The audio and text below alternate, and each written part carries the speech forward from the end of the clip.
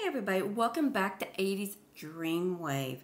I thought I'd do a review of R.L. Stine's Fear Street Truth or Dare. This came out in 1995 in February.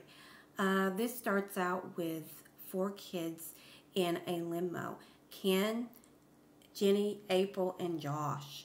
Um, three of them from Shadyside, and the other one is uh, someone who lives outside Shady Side. The the uh, ski lodge that they're going to belongs to a new girl that moved to Shadyside, and um, she had invited uh, Jenny, April, and Ken to uh, with them, and they picked up Josh on the way. On the way, Ken joked that he, after he got out of high school that he was going to buy himself a limo. Of course, Jenny, his girlfriend, said, "Yeah, right. You are um, you you can't afford to pay for your bike. You had to borrow your money to pay for the bike. that you broke." Um, April um, was excited because this would be a nice little trip away from Shadyside. Um, the person who owned the um, lodge was Dara. Dara was the new girl uh, at Shadyside, and she invited her friends up to ski. Of course, they were kind of disappointed because they like there was not going to be any snow. Josh just kept looking out. Josh was kind of a nerd. He had, had glasses and he was very quiet. April did try to talk to him, asking about you know how he knew Dara, and he said that his fathers worked together in a law firm. So um, when they get there, uh, Dara comes up in the jeep, and she and of course her parents didn't come where they had changed their mind. So they talked to each other outside for a minute and went in. Uh, the lodge was huge. I couldn't believe how big it was. When they went in, it was pitch black. April ran into something or somebody. When Dora turned the lights on, she sees two kids. One's named Tony, and the other one's name is Carly. She looks at him in such an anger and says, You're not supposed to be up here. He says, His family's week to stay up here, not yours. And of course, Tony says, I forgot. And they argue for a while. And Carly is uh, Tony's girlfriend. After a while, they start arguing. Uh, they realize they could share the lodge together. Uh, after they settle in, uh, are hopes that they start hope it starts snowing soon. Everyone finally gets settled in, everyone gets to the living room, and they decide they want to play a game. And Ken suggests truth or dare, and uh, and of course the minute he says it, Josh says no, I don't want to play it. Of course, Tony Carly don't want anything to do with it, but Dara jumps in and says says okay, let's play it. He says she says I'm going to be the one to you know ask the questions. Ken, of course, um, gets asked the first question, and he she said, "I want you to tell me something you feel guilty you did a long time ago." And he said that he stole some money from a kid that dropped it in a comic store. He said he's never felt guilty. She said that's not good enough. So she turns to she said, "Well," he says, "Your turn." And he says, he said, okay. He said, who's the worst kisser you ever, ever had? And she looks straight at Josh. Josh gets pretty angry, and um, and he he grabs a poker and goes toward her. Kenny and um, Jenny tried to stop him, and she said, "I didn't. I just looked at you. I didn't mean you." And he finally calms down and. Uh, Dara goes and talks to him, and he said he's okay. She said, I didn't mean him at all. But, of course, she looked straight at him, and he was pretty hurt. And Dara said, let's continue playing the game.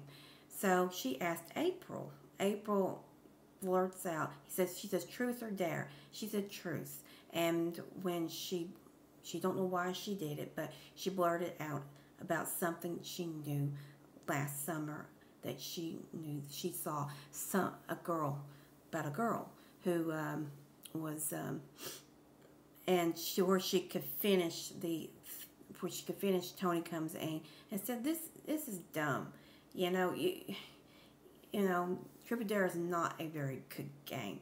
And she said okay before April could finish about the girl incident that she knew about.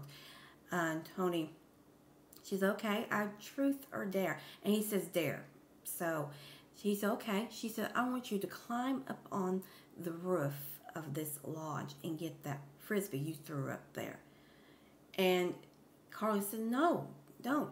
It started, it started, just started snowing. And she said, it'd be slick. He said, no problem. So he, and all the kids went out to the, all of them really didn't want him to do it, but Dara said, come on, he needs to do it. He said, he, he, we dared him, and she said he took the dare. So he climbs up there, and he almost hits himself killed. He, he almost falls off. But he, he, he makes it down, but she says, you didn't get the frisbee. He said, I don't care. Forget it. I don't like this game. So they went back in, and everybody decided that they they didn't want to play the game. She's okay. Let's let's go look around the property. So that's what they started doing. They got they got more warmer clothes on, and they went out and walked around the property. It started snowing pretty heavily when they started walking. But Ken said it's going to be nice snow weather.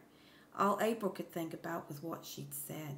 I wish I hadn't said it, but she had felt guilty about that girl at Summer Island. It's all she could think about. The story goes on that she starts to remember as she was looking at the snow.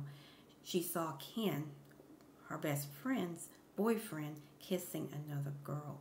That's what she felt guilty about. And she hadn't told Jenny last summer. And the guilt was bothering her heavily. And she said, I need to forget it. I, she said, but it felt good kind of to tell the truth, but she didn't. After a while, they all got tired and decided to go in. Dora said, you know, finish playing the Truth or Dare game. Nobody wanted to. Everybody wanted to go to bed. So when they started going to bed, um, April comes back down for some hot chocolate, and she sees Darla, and Darla says, uh, "I'm going to go out and get some firewood." She says, "Do you want me to go with you?" She said, "Well, not in what you're wearing." Says, "You're your night coat, night clothes, and I think I can go get the wood myself." So she puts a coat on and she leaves. So April settles down for a while and then goes upstairs to go to bed. The next morning, they all are downstairs. April gets down there and everybody's fooling around for breakfast. Everybody's wondering where April, um, I would say Daryl was, but no one knows where she is or Josh. So they think, oh, they're sleeping in. But Carly mentions, I thought she was an early bird. I thought she got up early. But um, she, they keep wondering. They keep going around the kitchen. They make some food, but they never come up. So April and Jenny and Carly decide to go up to see where Darla is. When they go into her room, they find her suitcase hasn't been opened and the bed hasn't been slept in. Where is she? And they wonder where Josh is. So the boys go into Josh's room and they find that he hasn't slept in. For one, Kim was sharing a room with him, and he said, I don't think he came came up to sleep. So maybe they both went out together. When they looked out, they saw the Jeep was missing. So when they um, they said maybe they went to, to settle things since they you know hurt each other's feelings and stuff. So so that's what they thought, but they did not come back. They were worried. Of course, Tony said that they'll be fine. They'll be fine. I've known forever she'll be fine. She knows this place pretty well, this area, and um, but they're still worried. But time goes on, they still get worried. It starts to get snow harder and harder, and they got worried. They don't know where either of them is. um, as time goes on, they decide they want to call the police, but Tony says, no, I don't want my parents to know where I'm at. And uh, they decide that they go in the living room, but April notices that there is no wood. She says, where's the wood? She was supposed to bring in some wood last night. So they decide to, but they start hearing something bang. They, they don't know what it is. And after a while, they realize it's at the back door. When they open up, they find that the door uh, of the uh, freezer that was out there was open. When they try to open it, they see a dead body. They see Dora's dead body. Her eyes wide open, dead. April starts to scream, and they, they go back in there and they tell them that they found Dara's body. So, who killed her? Um, and where is Josh? Um, could he be the murderer? I don't want to give it all away, but could could Tony be the murderer? He never forgave her for something. And could uh, Josh be the murderer? He's disappeared, or could the could the victim been someone else? Oh, she was murdered for no reason. I'll let you go. Uh, this is a for free uh, review. I hope you enjoyed it. Um, I love this book, Truth or Dare. I thought it was really good. Uh, but who murdered her? Um, you know, could it have been Ken? Could it have been because he, maybe he thought that was April? Or could it have been um, Josh? Maybe he never forgave her for what she'd done. She just um, made him feel guilty. Maybe out of anger he killed her. So I'll let you go. Bye.